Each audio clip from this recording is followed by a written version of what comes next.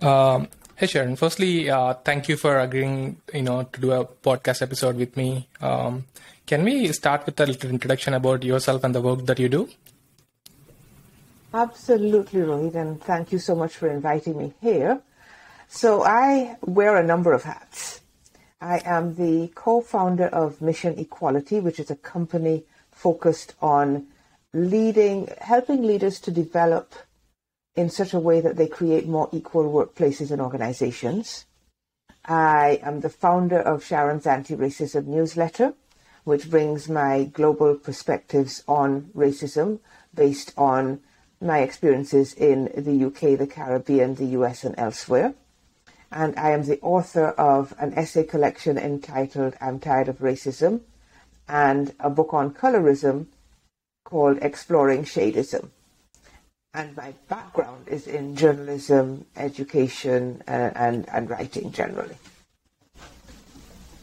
Uh, that, that's that's great to um, hear. I'm I'm super excited to learn from your knowledge, you know, expertise, and you know, global perspective. So, yeah, diving right into the topic, right? So, just, just curious on, you know, want to know or just want to learn more about, you know, what was the American, you know, history of racism after civil rights movement? Well, People often think of the civil rights movement as being the time when everything got better. But in fact, it was it was a point in time when some things got better in law, but people's experiences day to day did not necessarily get better. You know, if you talk to black Americans, African Americans, or just black people visiting the US, their experience can be very different from the experience of those in white skin in terms of how they are treated in housing, how they're treated in education, how they're treated in the justice system, how they're treated in the workplace. Just their day-to-day experience is still very discriminatory. You know, they're still black people, black Americans, African Americans still experience uh, a lot of discrimination and differential treatment compared with their white counterparts. Yeah. So do you think it has changed in, in the, past 20 years at least? Well, define change, Rohit. or the change, you know, I mean, the, the, racism, you know, the level know, of discrimination. No. Yeah, yeah, sure. Well, I don't know. There was a point at which it seemed like, you know, progress was being made in some areas. But more recently, it seems like that progress is being, is being rolled back. And, you know, if you think about the murder of George Floyd in May 2020 and a lot of corporate and organizational commitments to do better, um, you know, there were two things that stood out. Well, there were several things that stood out. One thing that stood out is that, you know, a lot of white people were shocked by that. But black people, brown people were not shocked at all. This represented their day-to-day experience, right? And so we're only talking two years ago. And what has happened since is that despite all those comments all those commitments. Uh, a lot of organizations are rolling back their commitments to diversity, equity, inclusion, their anti-racism commitments. Uh, I think it has woken up some people, but it has also, I think a lot of people are still afraid of making the necessary change. So while I won't deny that there's been some progress in the last 50 years and maybe in the last 20 years, it's not nearly enough, and there's constant pushback against anything that looks like progress, anything that looks like benefiting people of the global majority, anything that looks like redressing the balance and righting the wrongs. There is pushback from a segment of society. So I question the extent of the progress that has been made. Fair. Yeah. So can you give a couple of examples in terms of what was the pushback or like in what segments there is really a pushback just want to learn more about it okay so let's take very recently um, the florida governor just signed into law a bill which would stop the ability to have um, ap african american history on the grounds that it was not relevant right um, hmm there have been, you know, there's there's something I think that they keep flirting with you know, stopping um, critical race theory, right? And and anything that looks like telling the totality of the history, because this is the problem, right? That and it's not, it's not just the case in the U.S. It's the case in other places. It's in the places. It's the case in places where there's been a colonial past, which is quite a lot of a lot of the world, which is that Yep. A lot of the history that we learn comes from one lens only, and that's the lens of the people that colonized or enslaved our ancestors. And there, you know, there are movements among some to stop the totality of the history being told. And that totality includes that in many cases, the people that were enslaved or colonized had a long history before that, had their own version of progress, which looked very different from the European Americans or Europeans' version of pro- progress. It, you know, it was a, it was a, it was a long history. It was a history where um, that other people pulled from. That you know, these were countries with their own wealth, with their, their own their own history, their own languages, their own cultures, and so in a lot of cases that isn't told. And then when you come back to the African American context, you know, often there's the idea that, you know, history started with the enslavement of black people, for, you know, black, for, history for black people started with, the, with their enslavement in, in America. And then, you know, we had the Civil War, the Civil Rights Movement, and now everything is great. And, you know, that's an extremely um, partial view of history. True. And yep. I think we have to do better. Yeah, I agree with that. And I think we should definitely teach or educate ourselves or uh, you know, kids in the totality of the history because without knowing the history or learning about the history, you know, the present is not very relevant, right? You have to understand exactly. it to make sure, you know, to understand or observe the present and, and, and take it forward, right? So yeah, thanks for sharing that. And and since you mentioned about critical race theory, can you provide us some insights about it? My understanding, and I, am not an expert in it, is that this was a concept co- coined by um, Dr. Kimberlé Crenshaw, along, among others, and, and she was the person who came up with the um, idea of intersectionality as well, the idea that, you know, we have multiple identities that intersect within us. And it's about taking a, taking a view really of, of and, an understanding of how we get there. In a sense, it's, a, it's asking us to embrace that totality and not just see uh, the, the, the fiction of race through one lens. Yeah, so in the sense that I think so what, what does that totality mean in the sense um, it, it's about it's you know what, mm-hmm, mm-hmm, sure. Yeah no it's back to what we were talking about before. It's about taking a, um, a critical and informed lens and, and approach to seeing how questions around race play out within our societies, you know, and, you know, not necessarily just accepting things as they are and taking them for granted, but really seeing how did they come, how did they come to be this way? And, and, and, you know, how do they operate? You know, what are the systemic issues that cause things to operate in the way that they do? Right? It's not just about, you know, a lot of people think about racism as, you know, calling people names, right? And there's so much more to it than that. There's the whole system that underpins discrimination, right? And, you know, that's one of the things that you look at when you take a critical approach. True. True. Because, you know, if I think there has been pushback for this critical race theory in general. Uh, I've, I've you know, been reading about it a little bit. So it also directly or indirectly conveys that every you know white person is a racist consciously or unconsciously, uh, you know, and, and they can make choices you know, that may fuel to racism at least, even they may not realize. So, what's your thought process on it? I think that a lot of us in the world are socialized into the idea of white supremacy. And I think this applies to both to white people and to people of the global majority. You know, in my own case, you know, I grew up in the Caribbean, a place with a history of enslavement, a place where you had the plantocracy system, and that system is also founded on the idea that white people are at the top and black people are at the bottom. And, you know, okay, so, you know, enslavement ended, uh, countries became independent, but the people who inter- inherited the wealth, for the most part, still have the wealth.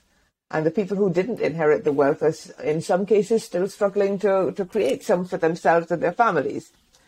Um, in addition to that, in terms of the question you actually asked about um, white people supporting the system of white supremacy and supporting racism without even knowing it. There's a certain taken for grantedness in the way things operate. Now, if you grow up in a society where you don't face obstacles because of the color of your skin, you might not even realize that other people are having a different experience. If you, you might take it for granted that you can walk into certain places, that you have a certain relationship with law enforcement, or whatever it happens to be. And you might find yourself buying into media narratives that suggest that people who don't look like you uh, have something wrong with them or deserve the dif- differential treatment that they're getting.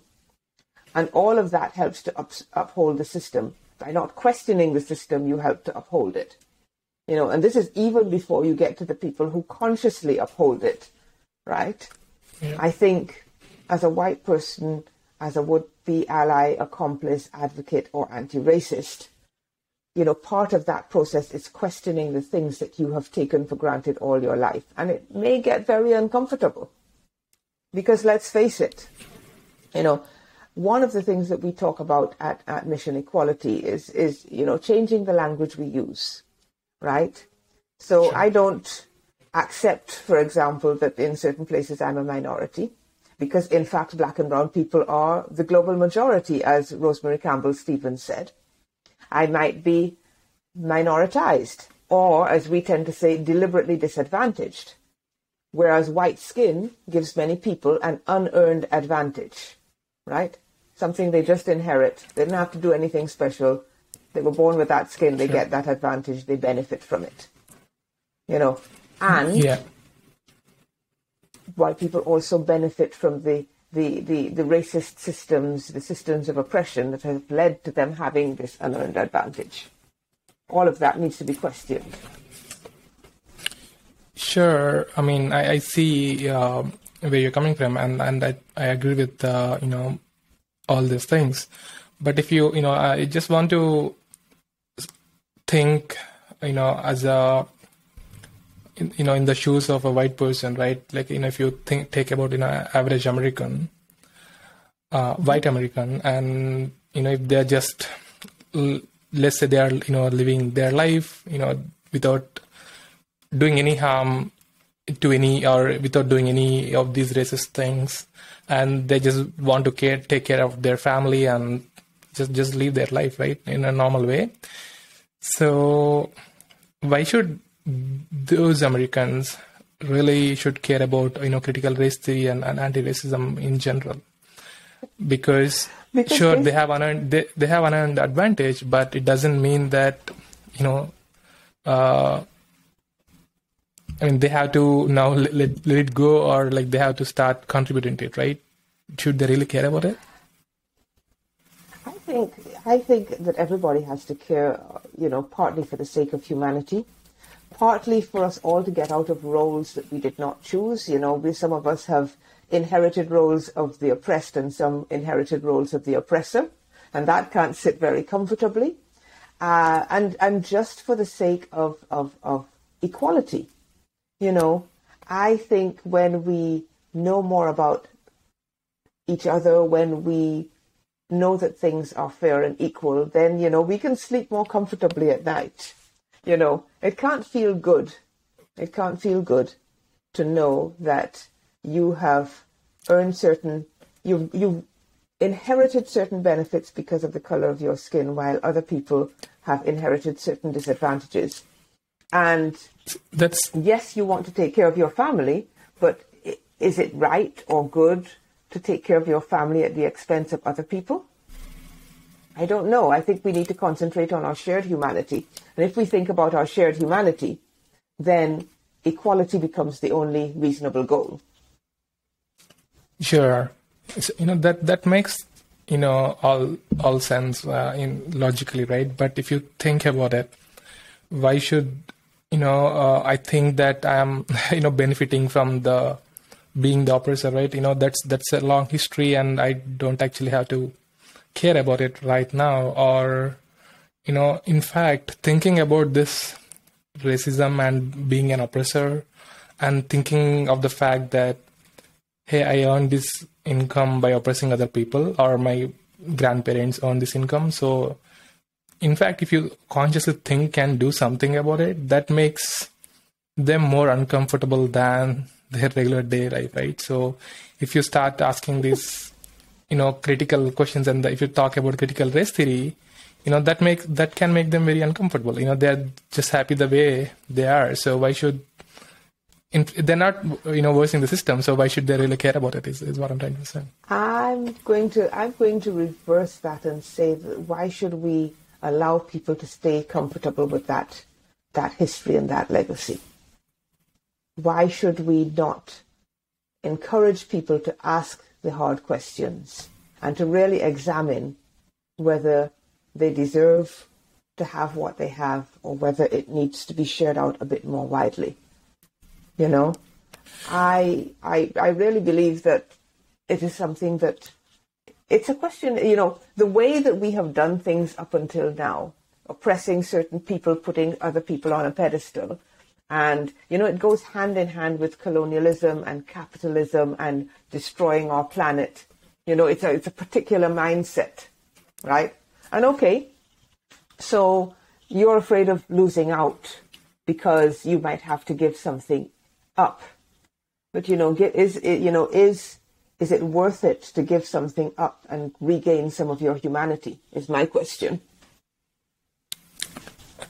I think even this concept of humanity may be subjective to them, right? For if you if I you know think from their standpoint, in a way, you know, uh, yeah, I, I, mean, what what is I mean, I, I don't know what how people think about it, but you know uh, maybe you know humanity can be very subjective right for example for some people it can be you know donating some meals in a certain days you know and they are incredibly happy with it without looking at the global mm-hmm. picture of what they earned or what they don't earn you know that they still think that they are doing great right? And you know watching for black persons or you know uh, un- underrepresented or undeserved uh, communities you know watching for them. And some people think that hey you know we are an, an, an ally for them and see we are doing great in, in general.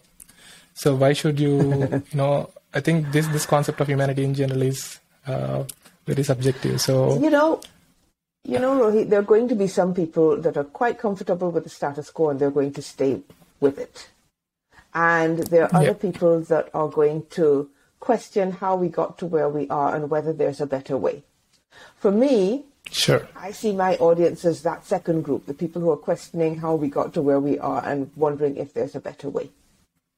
Right? And sure. those are the people that I tend to I tend to talk to. And then, you know, maybe, you know, there's a ripple effect and they talk to some of those other people who might not want to learn directly from me, sure. but might w- learn from their fellow, you know, people who are taking a different viewpoint and a different attitude. Um, I just don't think that yeah. we can keep going the way that we have been and sure and and things need to change and part of that is is righting some of those wrongs of the past and the way those wrongs still operate in the present because all of that history yep. Has very real impacts in the experiences that we're having today. I agree. So uh, I, you know, I'm totally with you on in terms of we definitely need to change this, um, and and some uh, majority of it has to be rewritten because it has been unfair to many many groups and to be honest across the you know world right? And particularly in us so because um, you know, the reason that I ask this is that, for example, you know, if you talk, even if you talk about anti-racism or critical race theory, you know, I think it certainly makes you know uh, we are certainly calling out that hey you know you all are racist you know knowingly or unknowingly. So and you have to change about it. You know you have to change. You have to start talking. It's like you know and and technically most of the you know Ameri- white Americans may or may not doesn't have to care about it because they are just living their normal lives, right? And so um, um, what I'm saying is, you know, we are we think that we may be asking the difficult questions, but I think those questions can make them, you know, uncomfortable and and take them towards more right. Uh, is is what I'm thinking. Um. So. Mm-hmm. I don't totally agree. Mm-hmm. I because because the one the one beacon of hope that I have seen is that there have been more white people waking up to how things are and really prepared to do the work, right? And you know, by work I mean act, be actively anti-racist, be actively pushing back against this conditioning, and be actively talking to others and calling them in and getting and you know spreading this word about anti-racism.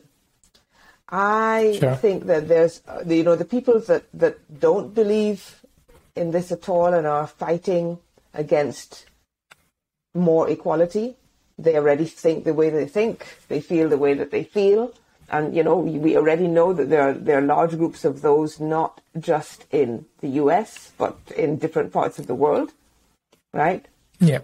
It's very difficult to reach those people but you know it is you can reach the people that are that are you know thinking more more critically about about how we got here about what needs sure. to happen about their role because it's not just you know we often think about these things or some you know it's often presented as if some of this stuff is in the past but it is still the present it is still the present you know i was reading an article yep. recently about um, some black people in the US who didn't find out that enslavement had ended until the 1960s. Okay, so because because yeah. I guess they were in a small area, and you know it was the it was in they were living in virtually the same conditions until then. So you know it's not something that was long ago, and so there are people who are alive today who are benefiting from that system, and there are people sure. who I know one of the pushbacks that people have is, okay, well, I'm not particularly well off. I'm not doing that well. How is it that I have privilege? And I, I say to those people, the privilege of not risking death if the police stop you is something that you get by having that white skin. The privilege of not being stopped as a potential criminal or followed around when you're in a shop.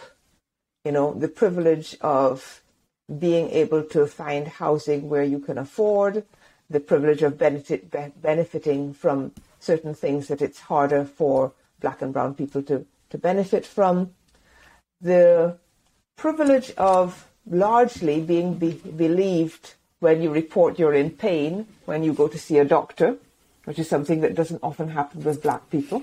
Right? I mean, you know, all of these things which have nothing to do with actual money are privileges that you enjoy sure. by walking in that white skin. And so, sure.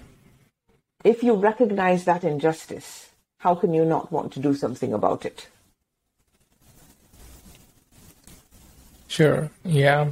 You know, make, makes sense, uh, right? Um, and and those are, you know, in that's a basic necessity that everyone should expect. But uh, it's very sad that it hasn't been so so common and and I totally agree that we need to talk more about it or we need to find more ways to you know resolve or work towards equality.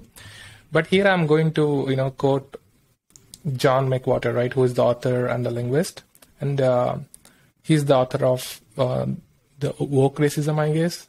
So mm-hmm. he says that you know the concept of anti-racism is being taken extreme thus leading to the woke racism which in turn will only harm black community right? And and I can see why he's coming from that that perspective, and and want to get your thoughts on it.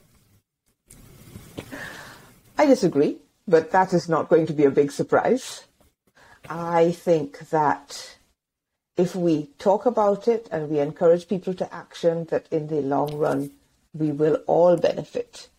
Uh, I don't see how anything is resolved by not bringing it into the light. Okay? I don't see how not sure. talking about it and not encouraging people to do better is going to help resolve the issues. If you're not talking about them, how are you doing anything to solve them? So I think we have sure. to talk about them and we have to talk about them loudly. And we also have to share the experiences that we're having that a lot of white people are not um, aware of. I have uh, currently nearly 4,000 subscribers to my anti racism newsletter a good number of those are white people wanting to learn more and just hear a little bit about what it's like to walk in this skin in different places, in different countries, in different situations. And, you know, for a lot of them, these are not things that they have access to. You know, these are not things that they know about, you know. And so once they know about these things, then they start to look at the world differently and they start to want to do something about them. But if we're not talking about them, if we're not telling those stories, if we're not sharing those experiences, how are we ever going to solve anything? So yeah, I I don't agree. I don't agree at all. yeah, makes sense. I think you know. I think one perspective to that is that sure you know for example if you ta- if we take the privilege example that we are talking um, right before this question right so instead of saying that hey you have all the privileges you know you can go to the doctor you cannot be stopped by police or something. Mm-hmm. you know should we approach this saying that hey you know we don't still have access to medical care or we are still being harassed by police? Instead of calling the out their privileges or the privileges of the majority or, or white american is there any harmonial way to say that hey you know we are in 2023 and we still don't have access to these things and it's very brutal cannot can't we go from that standpoint instead of you know calling out critical race theory or, or you know or you know uh, and, and anti-racism and all? Sometimes you got to call a thing a thing right sometimes you've just Agree. got to call a thing what it is.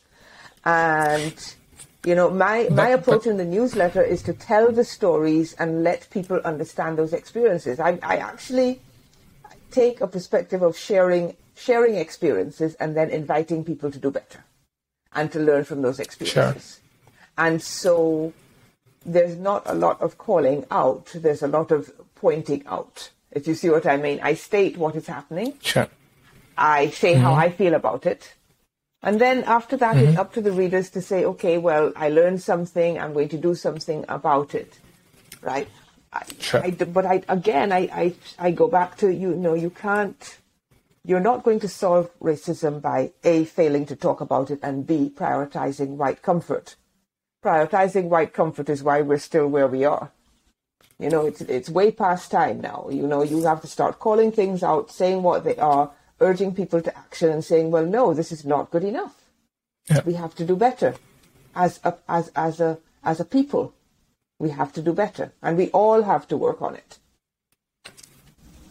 Yeah, it makes sense. I think, I mean, we definitely need to have these uh, discussions and, and we definitely need to call out in, in certain, you know, regards or in, in maybe all the, all the regards. Um, but, you know, the other question that I have for you is, for example, if you're thinking purely from anti-racism standpoint, uh, don't you think we see everything with with the racist lens? In the sense uh, because you know, le, le, oh you know I just gosh. I just have an analogy here, right? Uh, so I have an analogy here. Uh, you know, to be honest, this is one of the questions that I asked. Uh, you know, I went to a HBCU for my master's. This is one of the questions mm-hmm. that I asked one of my um, you know co- colleagues back then as well. Um, so let's say you know I want to buy a car, and if I go on the road, all I see is that certain car for the most part right? I mean, there are many other things going on too, but I just see that, you know, car. So similarly, you know, if we are, you know, I might be giving just a horrible example, but you you probably understand the point, right? So if you are just thinking about this concept of anti-racism, what we see or what we call out is mostly that. So, is, do you think that's the right approach?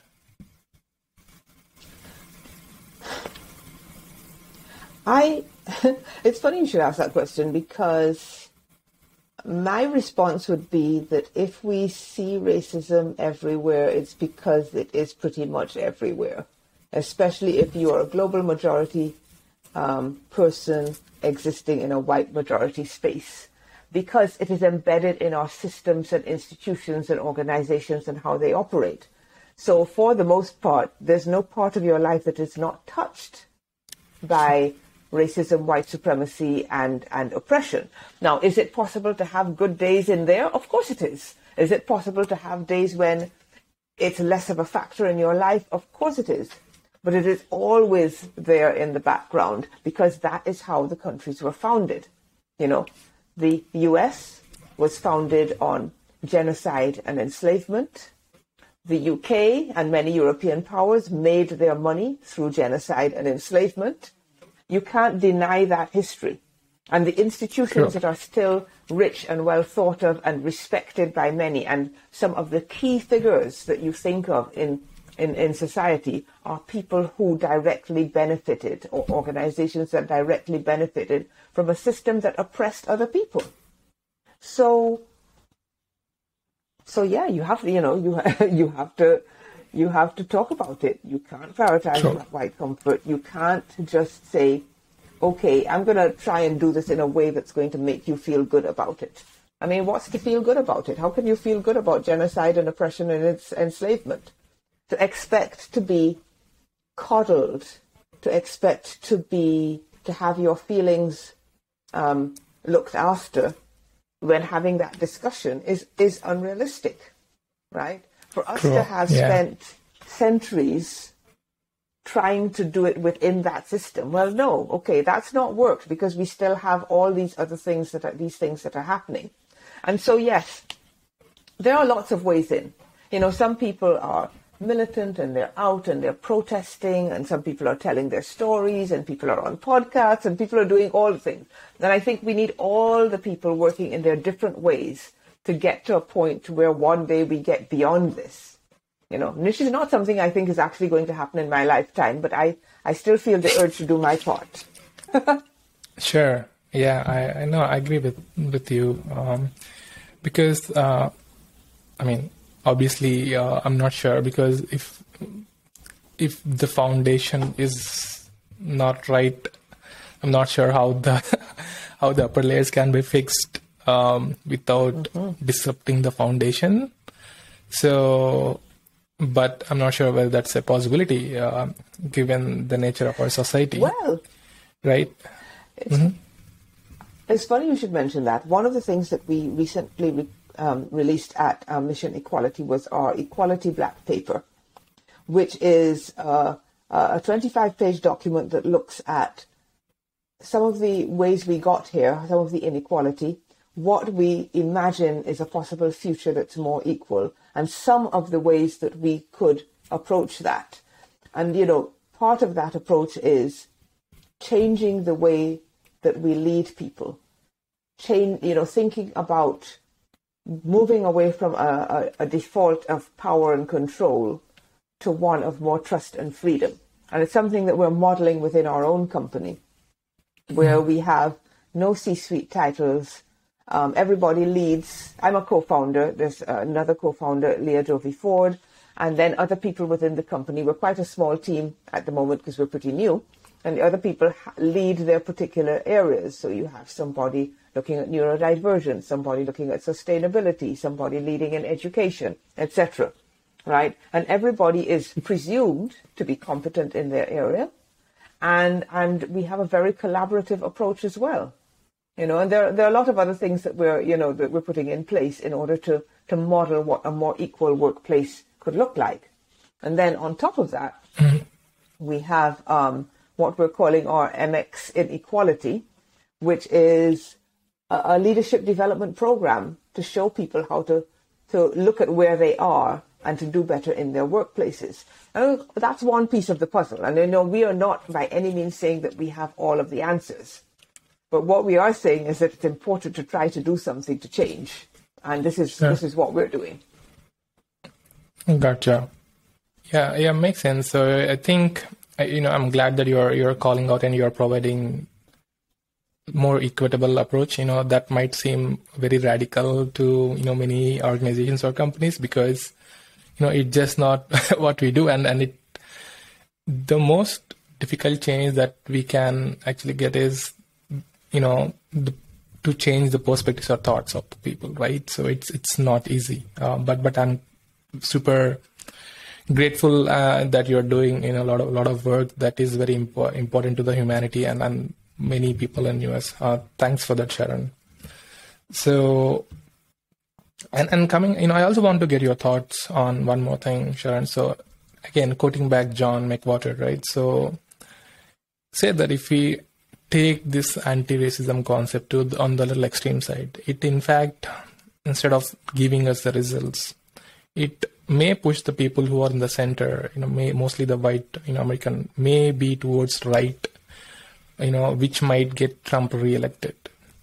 So, what he's saying is, you know, that's bad for the black community itself. So, should maybe might have to take a different approach. I'm not sure whether he proposed a solution, but he's essentially calling out that this is not the right way of doing things. And, and then he's a black too. So I. What, what's your take on it? Well, first of all, black people are not a monolith, so you know people have their different views on how things should be approached. Sure. Uh, clearly, nobody wants a return to Trump. That's not good for anybody, right? That's not sure. that's not just bad for America. That's bad for the whole planet. Okay, nobody wants that. Um, yeah. But but I I disagree that talking about it. You know, if you think, if you think that it is okay to oppress and discriminate against black and brown people, my telling you that I, I see that is not going to change your mind. If you are not committed to anti racism, then you're not committed to anti-racism. My telling you that anti-racism is a priority for me is not going to change your mind or your commitment. If you are committed to it already and you see the need for it, my talking about my experiences might give you more reason to be committed. I don't know that if your if your anti-racism stance can be swayed to towards the far right by something that I say, then I have to question how committed you were to anti racism in the first place. Right? And so yeah. I think if you really are committed, talking about it isn't going to make you less committed. If you're on the fence, well, maybe you need to do a little more reading and learning and self education to see why continuing to fight racism is the right approach. Sure. But but do you think people uh, are really investing or want to invest in you know educating themselves who are on the fence? I think circling back around to something I, I mentioned earlier, I think that the people who are on the fence can be swayed by some of their peers. So I can talk to the people that already realize that there's a need for this, that there's a need to learn more, there's a need to educate sure. themselves, there's a need to do better. But then they can go out and talk to those people who might be on the fence and maybe bring them to understand why they are, why they have taken the approach that they've taken, you know? Yeah. Agree. I think, you know, one small conversation or one, one article at a time, you know, can take us a long way. Um, and, and can play a big role in the equitable society for sure. So I just, uh, you know, I have one more question, you know, uh, to ask. So, sure. when I was reading about critical race theory and anti-racism, I've seen this in multiple places that these things are actually discrimin- disc- discriminatory against whites. So, uh, which in fact is also a racism. So, w- what's your take on it? No, no, no, no. I, um, no. that is just that that that is just ridiculous. Because again, it comes it comes from a lack of understanding of what racism is. You need to think about the systems and the power relations, right? All the you know the system that we have is one that favors white people in many countries, in the U.S., in the U.K., in in many countries, and I would argue that in post-colonial countries, there's still some of that in the in the um, society as well. But that's a whole other issue. And so. I can, I can, you know, I could say, oh, I don't like you as a white person. I don't have the power to do anything about about, about it, right? I am not like, you know, when you're a white person and you call the police for something a black or brown person has done, that black or brown person is probably going to end up in custody. If I, as a black person, call the police for somebody, something that a white person has done, I might still end up in custody. Okay, that is the difference, right? That Agree. is, and, and, and I mean, I'm not even making this up. I mean, we know that this has happened. We know that this has happened. People will, you know, a black person will call the police to help them with something, and they'll end up in jail or dead, right? Yeah. And so, uh, it is not possible for me as a member of the deliberately disadvantaged group to be racist towards white people. It doesn't, I don't have the power. Most of us don't have the power. We just don't have it. Okay? We can we can be biased, right? Sure. We can we you know we might even discriminate, but we can't enforce the system of racism. We can't we can't systematically oppress white people. We do not have that power. So no, I refute that entirely. yeah yeah uh, so I, yeah it, it's funny you call that out but but you know that that's the reality of the society but you know even this may not be racist but even this biases and being discriminatory can in turn be harmful for the black community itself right because you then start rebelling and then you know people might take hard stance you know which might not eventually result in a good result that the black community is expecting. If you want your freedom, sometimes you have to fight for it. It's as simple as that. You know, if you want not to be oppressed, Sure. sometimes you have to, you know, sometimes you have to say the hard things. Sometimes you have to Sure. force people to think differently. We're not getting hmm. anywhere by being quiet and failing to speak and waiting for people to recognize our humanity. So we have to, you know, Yeah. we have to take it to the streets and take it to the take it to the digital platforms, and we have to we have to be vocal, we have to be loud, we have to be consistent. That's what I think. Yeah, I agree. I agree with you because so far we may have been vocal, we may not have been loud enough in terms of, you know, calling this out or in st- in terms of voicing the opinions. Uh, but I think that should be done, and that should, you know, that will definitely go a long way. I think, yeah, I mean, we definitely have to, you know, continue the fight and and uh, keep fighting for our rights. So I, I know I agree with you on it. So thanks for you know sharing all this, Sharon. I know you know these are not you know may may look that I'm approaching you know different way. You know I'm just trying to eliminate some of the biases that in general people have, and, and eliminate my own biases as well. So you know just just curious to understand your thoughts on what immigrants should learn about the black history and, and racism in US.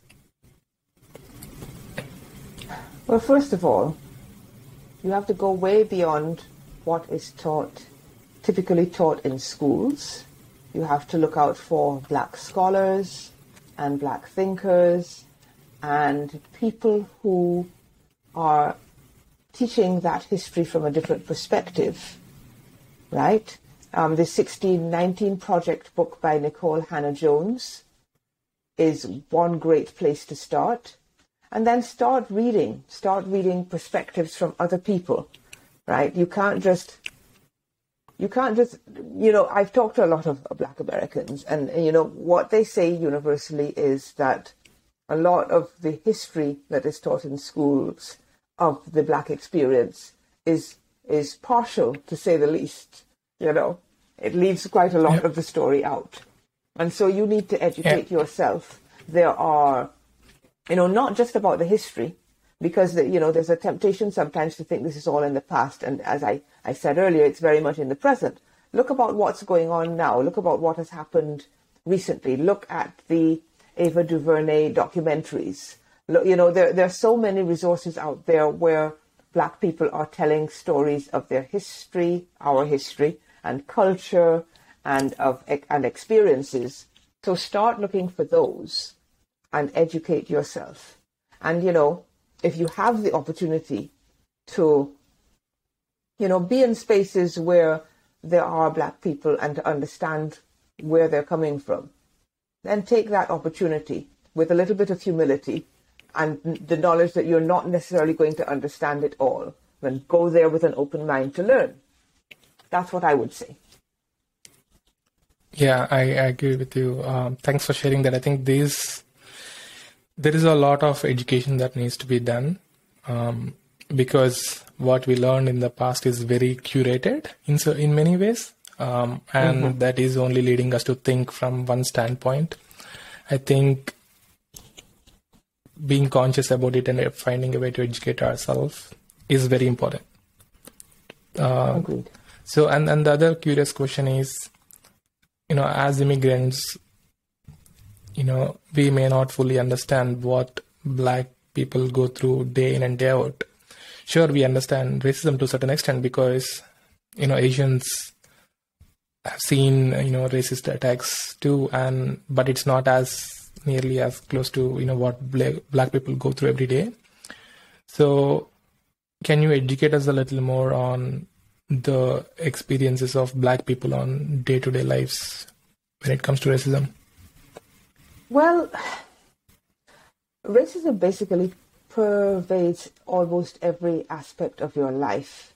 Although, you know, I don't want to say that this is the totality of the black experience because, you know, there are also pockets, you know, there are places where in America where you might be in a black majority town and you might have all black teachers and there might be black people all around you and you're kind of insulated from the rest of, you know, the, the, the experience.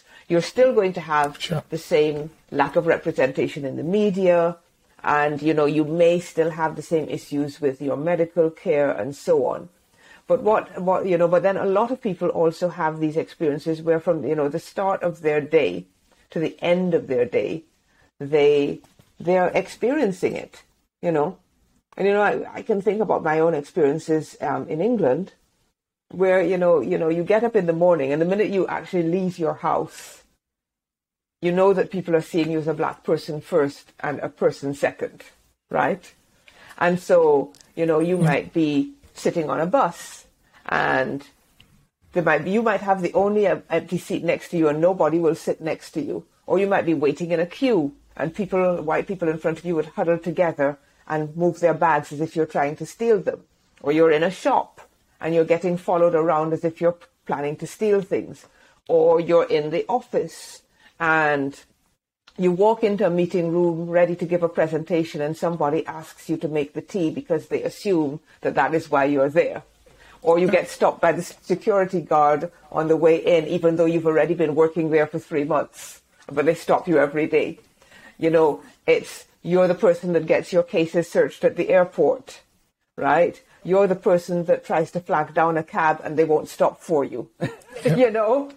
Um, and that is even with that is even without the the things about lack of medical care, um, lack of um, what's the other thing? You know, not being able to get houses in the places that you want, maybe not getting the loans at the right at preferential rates, finding it more difficult to get mortgages, all of those things, the whole system, right? Yep. And you know, people could be affected by all of those things in one day, and it could happen every day, agree right? yeah So it's a lot. it, yeah it's, And I think it is something for certainly for for immigrants to the country and to, for white people to be aware of that you know your black friends and colleagues might be having this experience every day for all their lives. You know, you meet somebody in their 30s or 40s, they've already had three to three and a half decades of experience with racism.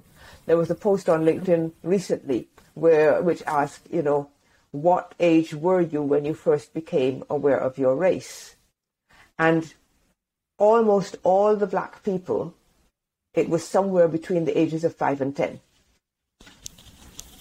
Okay, so it starts early. Yep. It starts early. By the time you get into Yeah. the workforce after you've finished your your your, your postgrad education, you could already have had 20, you know two decades of experiences of racism that you're aware of. Yeah. Yeah. So it's yeah, it's definitely a lot. I think it's as immigrants we have to, you know, really consciously understand it and and find a way to be, you know, an ally or in the sense find a way to start questioning or you know supporting uh, many black and underrepresented groups so and and how do you think this uh, you know allyship can be done right um, because sometimes it's not think- an easy conversation to have so. I think there are, there are several aspects. You know, one aspect is believing people, believing black people, believing Asian people, you know, believing people when they tell you they have had a discriminatory experience, not gaslighting them about it, not finding other other possible explanations, not minimizing it, not assuming it wasn't harmful because it didn't seem harmful to you, right? That's one aspect. But then the other aspect is how do you how can you interrupt racism? Or how can you avoid being a perpetrator of racism yourself? You know how can you you know you see your black colleague say something and then the white colleague and is ignored and then the white colleague says the same thing and gets praised for it. And so you as a white ally can say oh yes i'm glad you picked up on that point so and so made you know, did and uh, go back to that person and ask if they have anything to add. You know, sometimes that's what you can do. Sometimes it's about, you know, standing up when you see something that is racist or discriminatory happening in the moment. Because honestly, coming to me afterwards and saying, I'm sorry that happened to you, has very little impact compared with interrupting the person who was doing it in the moment. And part of that, you know, that's why we have you know, the education so that people can learn how to do that and to get comfortable with it. And one of the things that I've seen in the work we've been doing at Mission Equality and some of the allies groups that we have run is that if you are consistently talking about racism and learning about it and seeing the ways in which it shows up and learning strategies for interrupting it and for noticing it and for, you know, just raising your awareness and, and, and, and level of action, you get to the point where you feel more comfortable identifying it, interrupting it, and countering it. And I've just seen this happen with many people in the groups that we've run. Yeah, I think uh, uh, definitely those. Thanks for sharing those. Um, I think I can um, see the importance of those, and and the one point that I really want to call out is finding a way to interrupt it. Right? It's not that expressing a support after it has happened because essentially that doesn't solve the root cause. So I think finding a way to interrupt and finding a way to be vocally and actively supporting um, the black and underrepresented groups is very very important. So Agreed. yeah, so th- thanks for sharing all these, Sharon. So you know, two last questions um, for you. So I think I think this this might be a little interesting. Let's see how this goes. But how do you think racism can be solved in US, right? And if given superpowers to you to take some measures that every American can follow, what would you do to solve racism? How could racism be solved? That's a big question. And in a sense, I think what it what it requires is figuring out what it is we're really fighting for, which is which is equality. And sometimes that means taking equity steps on the road to redress historical and current imbalances. Uh, and basically, it looks like interrogating every system that we now take for granted. You know, education, justice, how workplaces function, etc., etc., and looking at you know you know, where's the representation of black people? Are our voices being heard and taken account of? Are people being held accountable for their racism? Um, is the environment equitable, etc.? Are, are our leaders in a position to, to, to lead us to more, more equality in the spaces that we inhabit, in the communities that we're in? Ah, so if I had superpowers, what would I do? I, you know, I, I envisage a world where everybody has enough, you know. Everybody would be housed, would have enough to meet their needs, to get their food. Everybody would have access to great um, education and learning if that's what they wanted to do. People would have work that was, was fulfilling.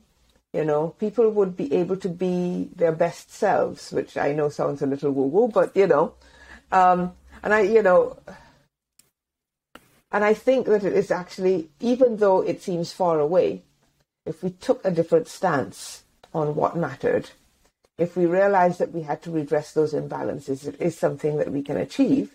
And it would be great for our planet as well if we moved away from an extractive mindset, which is not just about taking things out of the planet, but how we treat the, the idea of people's labor.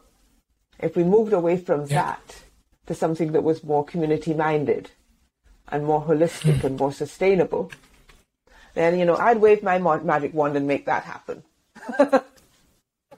sure. Yeah, makes sense. I think, and, and do you think that, you know, if, let's say, wealth is distributed equally uh, in the sense that if everyone has access to housing, Medicare, education, um, then the racism can be solved in a way, or will be more equitable. I think uh, that's true, but will not solve racism.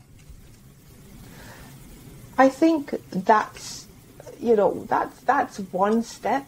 Removing the the inequality is one step changing people's minds and getting them to see us all as human beings who are inherently worthy and valuable is another step.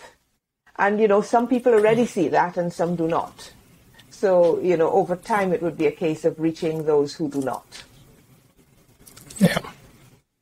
True. Yeah, makes sense. Thanks for sharing this. This is, I'm with you on it. So, yeah, thanks. Uh, so one, yeah, one last question. Uh, I think this is this is one question that I ask every guest on my podcast.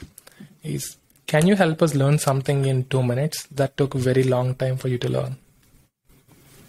uh,